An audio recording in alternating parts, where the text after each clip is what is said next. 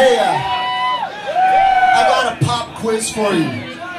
You guys like girls? I like girls too.